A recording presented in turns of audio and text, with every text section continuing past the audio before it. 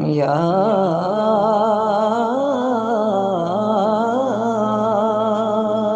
رب، نظروں کو آج کچھ ایسی بنائی دے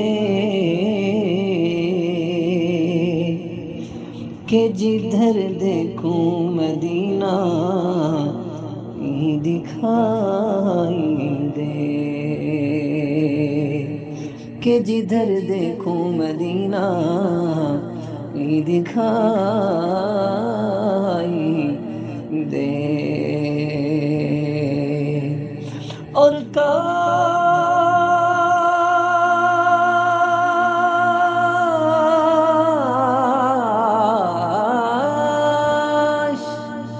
اے کاش کے ایسی روانی ہو۔ فضاؤں میں